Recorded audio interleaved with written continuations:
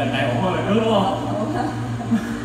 Nhưng mà em nói thiệt nha mỗi lần mà diễn cái tiết một tiết này á lần nào em cũng mất ói trời ơi mà 10 lần như một nhưng mà không bao giờ có thể ói ra được. Đó chỉ gọi là chói chói đúng không?